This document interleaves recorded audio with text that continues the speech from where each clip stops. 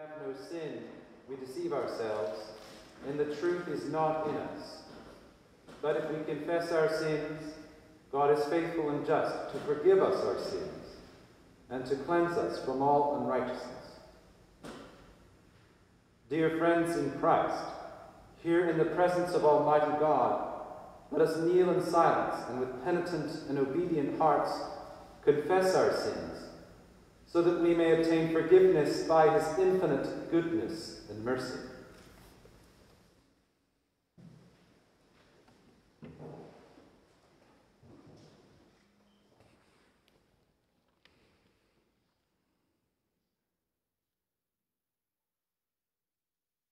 Almighty and most merciful Father, we have erred and strayed from thy ways like lost sheep. We have followed too much the devices and desires of our own hearts.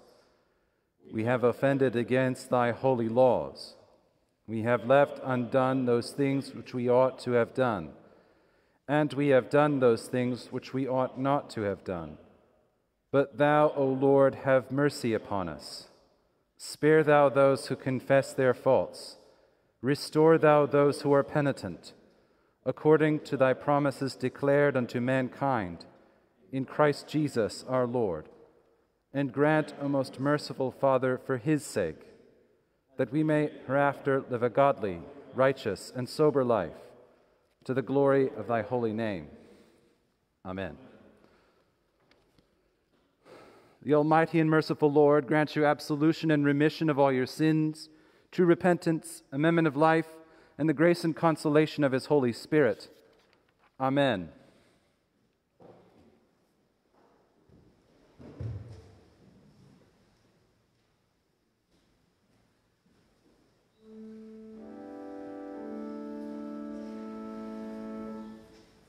O Lord, open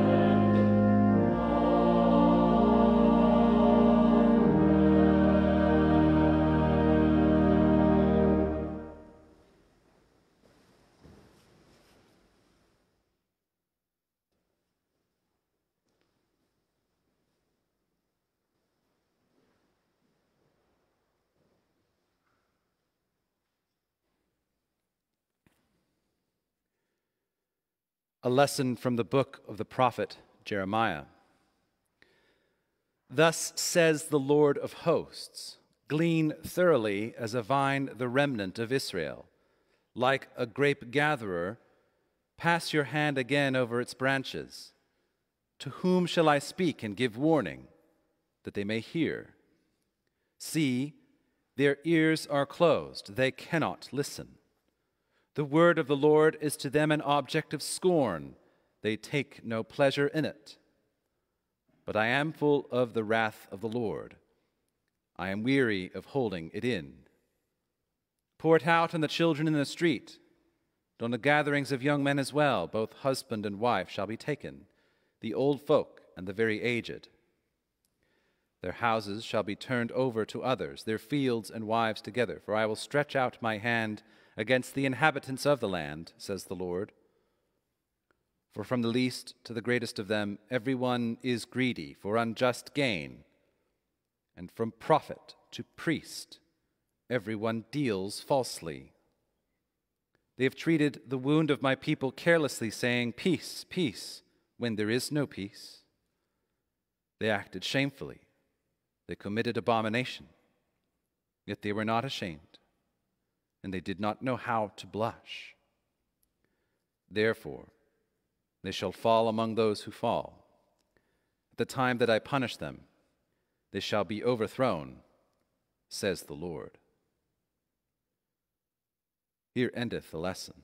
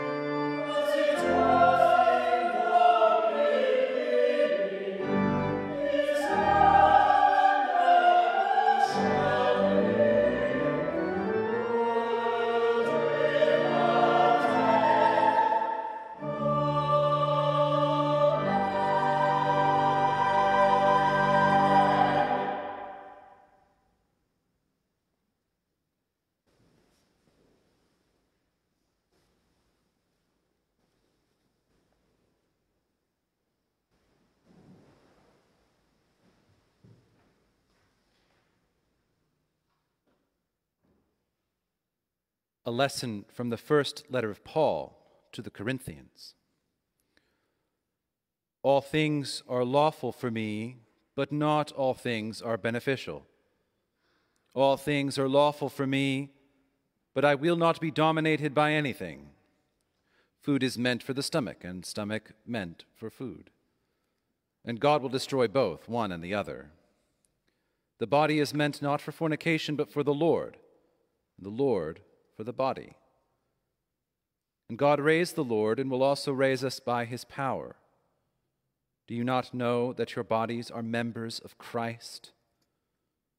Should I therefore take the members of Christ and make them members of a prostitute? Never. Do you not know that whoever is united to a prostitute becomes one body with her? For it is said, The two shall be one flesh. But anyone united to the Lord becomes one spirit with him. Shun fornication. Every sin that a person commits is outside the body, but the fornicator sins against the body itself. Or do you not know that your body is a temple of the Holy Spirit within you, which you have from God, and that you are not your own? For you were bought with a price. Therefore, glorify God in your body. Here endeth the lesson.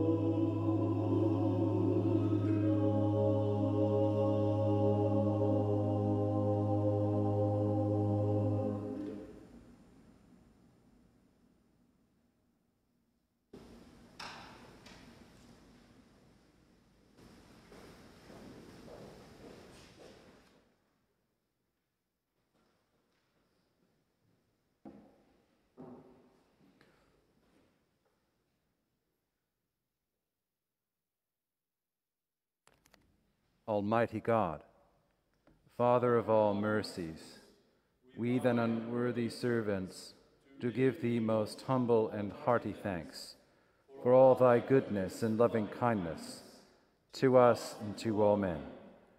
We bless thee for our creation, preservation, and all the blessings of this life, but above all for thine inestimable love in the redemption of the world by our Lord Jesus Christ, for the means of grace and for the hope of glory.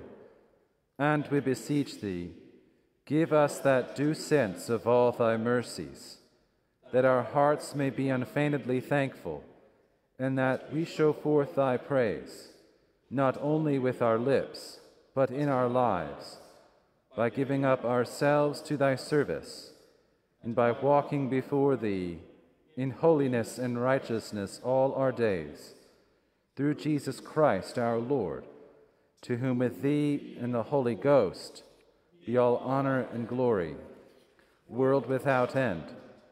Amen.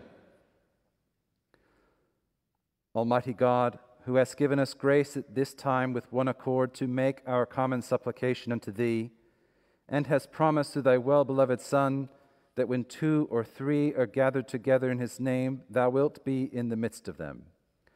Fulfill now, O Lord, the desires and petitions of thy servants as may be best for us, granting us in this world knowledge of thy truth, and in the world to come, life everlasting. Amen. Let